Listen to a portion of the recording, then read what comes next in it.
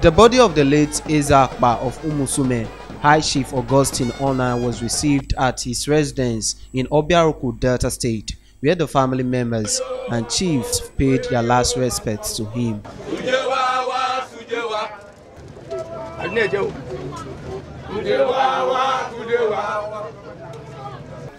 The deceased homeward journey later kicked off with a funeral mass.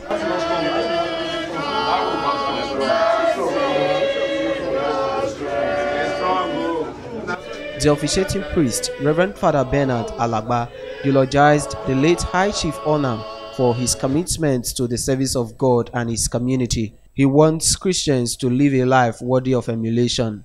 If God has prepared a home for every one of us, then how do we get there? It is by good works that we get there. We have to live good lives, worthy lives as children of God.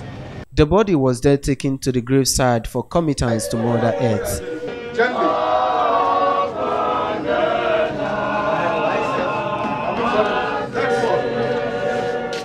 Eternal rest grant unto him, O Lord.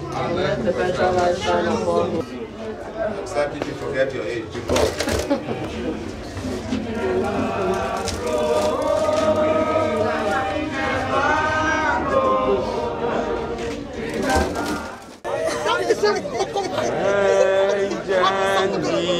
My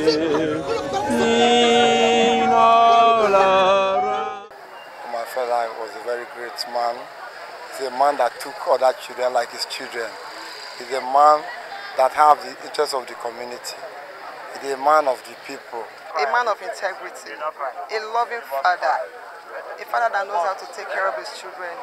the only man that gave white men chief title title in Obiaruku, the man who has vested in his soci- in this community that he can never be forgotten. This is actually a very big loss, not only to the children, to my friends, to people around, and it's heartbreaking. But thank God he lived a very fulfilled life, and then we're celebrating him. I miss the man that would always give me a reason to strive in life. A man that I've taken as a role model. Attention shifted to the reception for the celebration of a life they say was well spent by the deceased.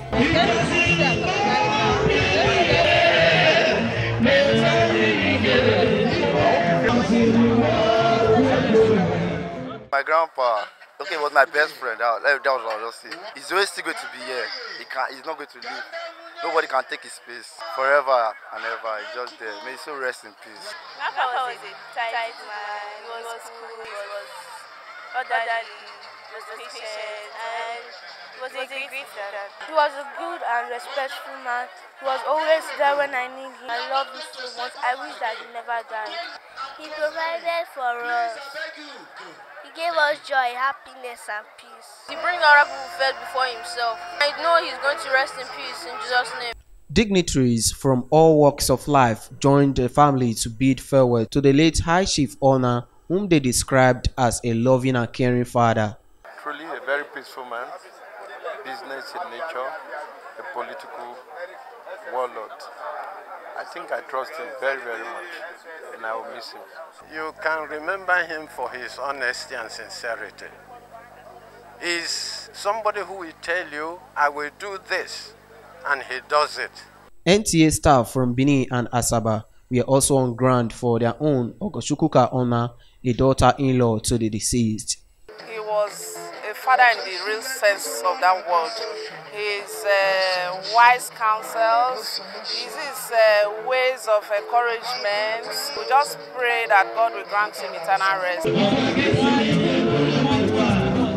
Late High Chief Augustine Onah, who was a businessman, died on the 20th of September last year at the age of 73. He is survived by a wife, 14 children, 24 grandchildren, and other relatives. From Obiaruku in Delta State, Jude Aweke, NTA News.